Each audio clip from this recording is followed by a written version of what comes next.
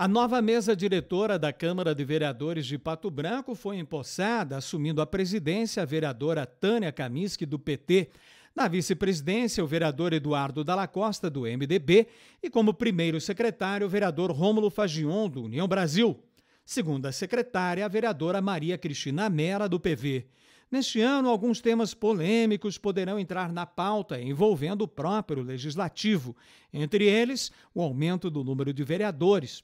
Hoje são 11 em Pato Branco, e o reajuste dos vencimentos, com implantação do 13º salário para vereadores, já aprovados em outros municípios do estado. A nova presidente se manifestou na cerimônia de posse e já se posicionou contrária pessoalmente ao aumento do número de vereadores, mas que este tema deverá ser alvo de debate no plenário. Eu pessoalmente eu acho que não necessita, né?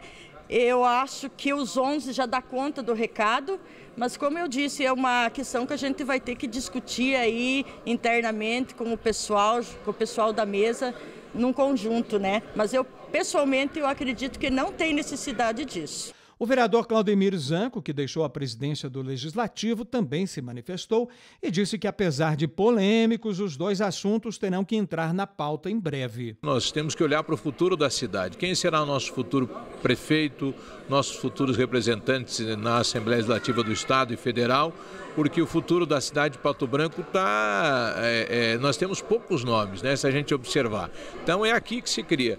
E esse assunto tem que ser debatido não do aumento do salário, mas do aumento da representação e novas lideranças no, no plenário desta casa diante da defasagem. Os dois temas, de fato, dividem opiniões. Resta aguardar agora para saber quando o Legislativo vai incluir na pauta do dia estes debates.